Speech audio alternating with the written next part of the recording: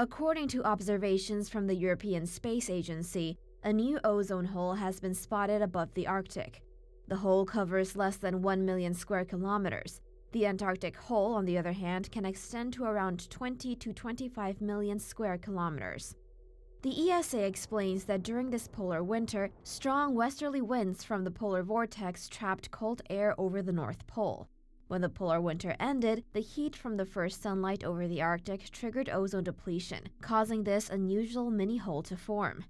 This type of ozone hole formation is different from that of the Antarctic ozone hole, which appears every year due to extremely cold temperatures and pollution derived from human activity.